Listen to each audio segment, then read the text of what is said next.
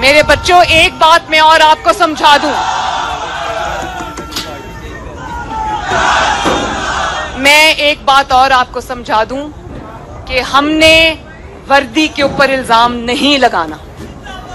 ये वो वाली वर्दी है, मेरे मेरे फौजियों की वो वाली वर्दी है जो सियाचिन में हमारी हिफाजत करते हुए शहीद होते हैं।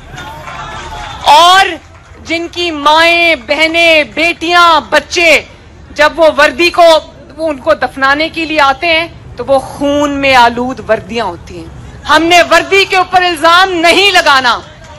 हमने पहचानना है कि उस वर्दी को दागदार करने वाले दो या तीन किरदार कौन से हैं।